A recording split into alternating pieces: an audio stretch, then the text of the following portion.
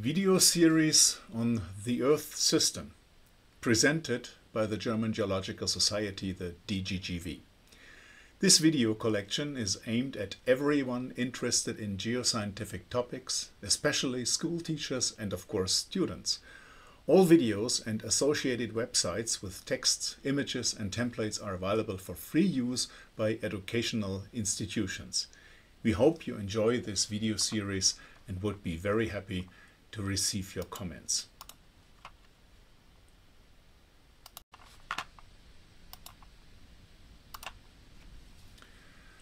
Hello everyone. I welcome the viewers of our video series on the Earth system. In this first video of this series, I want to start with some general basics. Further videos will build on this and in each following sequence I will focus on a specific topic sometimes only partial aspects of a topic, explaining in a generally understandable form. You can find an overview of the existing videos on our website for this video series. My name is Martin Meschede. I have been teaching the basics of geology and geodynamics at the University of Greifswald in Germany for more than 20 years and I have been a member of the German Geological Society, the DGGV, for more than 40 years.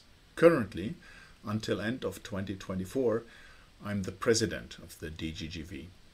The DGGV is the largest German-speaking association of geologists.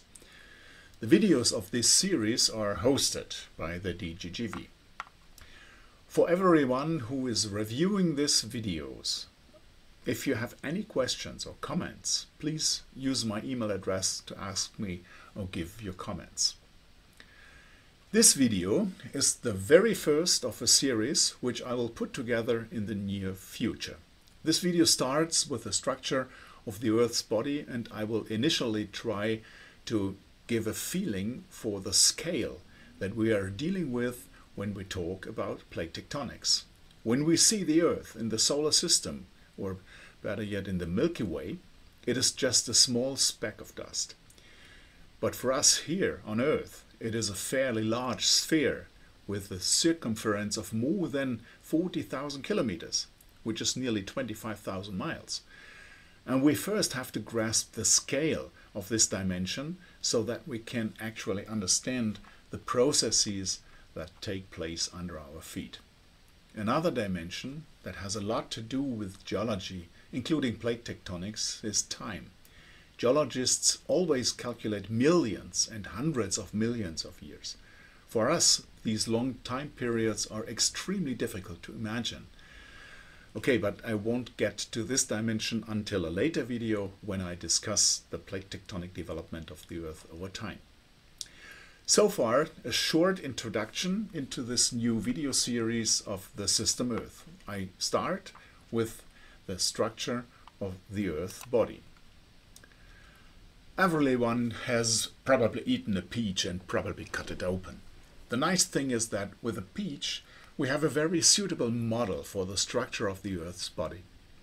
It has a firm core, a more or less soft fruit mass, which we can also call a mantle, and a thin outer shell.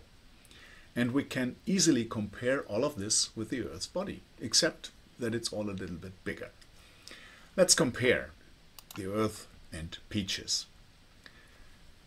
The peach measures 8 centimeter in diameter and the peach skin is 1 millimeter thick, perhaps a little less.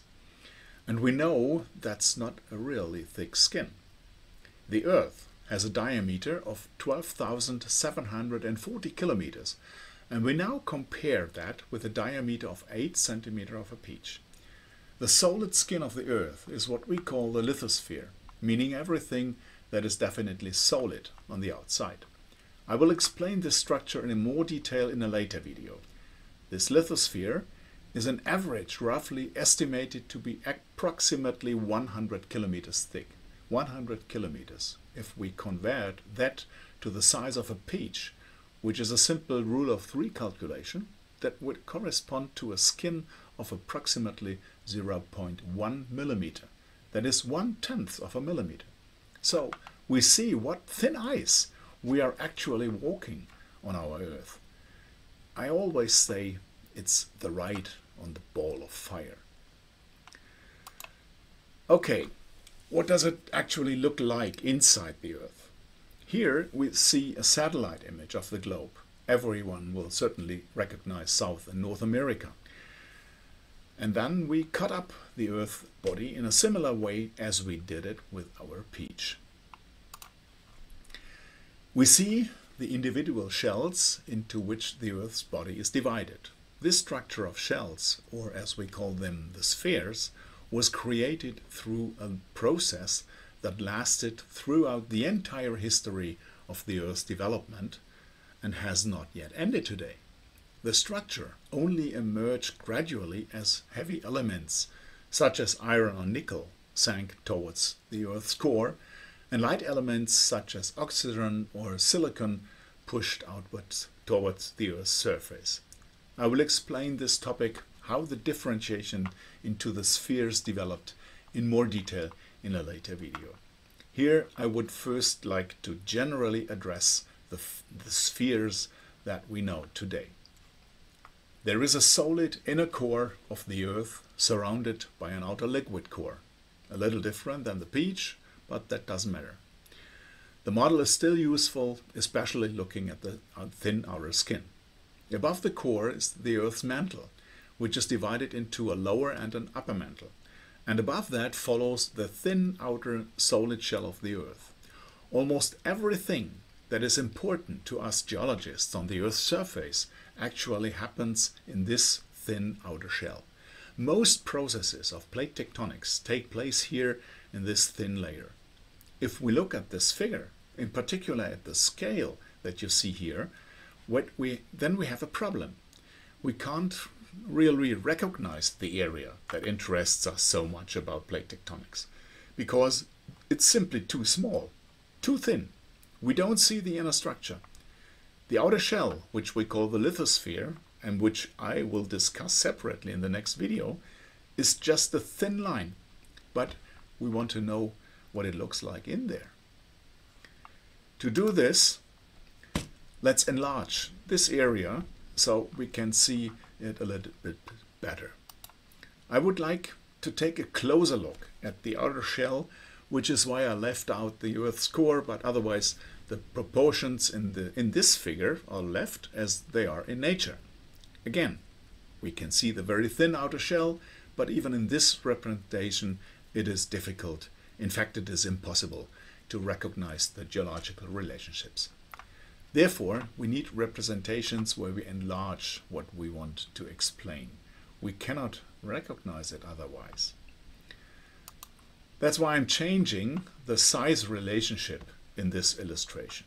To do this, I also remove the lower mantle and reduce the curvature of the Earth slightly. You will see in the next figure why I'm doing this. It is because I'm exaggerating the illustration so that we can clearly see the structure of the lithosphere. In this figure, for example, we have an exaggeration of more than 10 times. Horizontally, the bar is remaining as before. It is 1000 kilometers long, but vertically, it is now only 100 kilometer, not 1000 kilometer as before.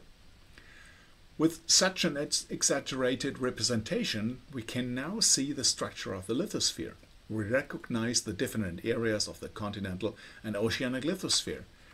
And to make this a little clearer, we also can add a 3D component. Here you can see the South Atlantic and the two adjacent continents of Africa and South America. And with this exaggerated representation, we can also show the spreading zones and trenches more understandably. But with such exaggerated representations, which I will use frequently in this video series, we must always be aware that the lithosphere is only 1 to 2 millimeters thick when we draw it in such uh, realistic uh, uh dim dim dimensions. This diagram, which shows the basic principles of plate tectonics, uses the same exaggerations. Here, too, the lithosphere is much thicker than its horizontal extension. But by this exaggeration, we can represent the plate tectonic relationships in a way that makes them understandable for us.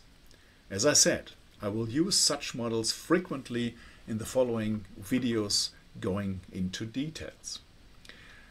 Okay, this should be enough for now as a rough overview and introduction into plate tectonics. In the next video, I will have a detailed look at the lithosphere, the outer thin part of the Earth. What exactly is this lithosphere and how is it related to plate tectonics? For now, thank you for listening and I'll be happy if you stick around. I recommend now continuing with the video on the structure of the lithosphere.